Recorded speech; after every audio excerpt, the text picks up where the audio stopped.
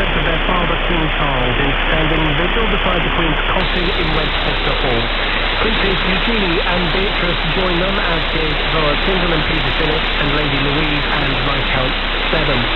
Our royal correspondent Rhiannon Mills was inside Westminster Hall as the Queen's grandchildren took their positions. All of them now stepping towards the coffin to take their positions to pay this very unique and special tribute.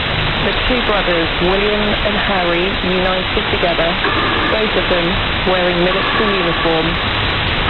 Earlier, Charles greeted some of the thousands braving the hour-after-hour queue waiting to get in. He's doing all this and at the same time he's